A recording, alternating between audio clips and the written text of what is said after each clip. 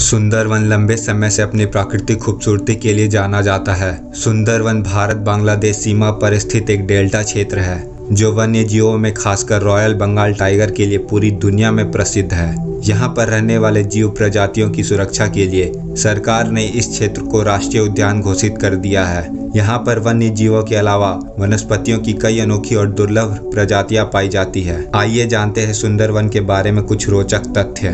सुंदरवन का इतिहास 200 से 300 ईस्वी के आसपास का माना जाता है। इसका प्रमाण बागमार्ग फॉरेस्ट ब्लॉक में मिले अवशेषों से मिलता है। सुंदरवन में तरह तरह की वनस्पतियाँ पाई जाती है, जो पूरी दुनिया में सिर्फ़ यहाँ पर ही मिलती है। सुंदरवन का नाम इस जंगली इलाके में भारी संख्या में पाई जाने वाली सुंदरी पेड़ों से लिया गया है और साथ ही बंगाली भाषा के शब्द सुदोर का प्रयोग करके इसका नाम सुंदरवन रखा गया। आम भाषा में ये लोग इस वन को सुंदर वन या सुंदर वन के नाम से जानते हैं। सुंदरवन डेल्टा बंगाल बेसिन से जुड़ा विश्व का सबसे चौड़ा, गहरा और सबसे सक्रिय डेल्टा है, गंगा और ब्रह्मपुत्र। दोनों नदियों के एकीकरण से बने इस डेल्टा को बंगाल डेल्टा या ग्रीन डेल्टा भी कहा जाता है। सुंदरवन दस हज़ार वर्ग किलोमीटर क्षेत्र में फैला हुआ है, जिसमें से छह हज़ार वर्ग किलोमीटर बांग्लादेश में आता है और भारत के हिस्से में चार हज़ार एक सौ दस वर्ग किलोमीटर आता है। पश्चिम बंगाल में सुंदरवन क्षेत्र, रॉयल बंगाल टाइगर के लिए प्रसिद्ध है।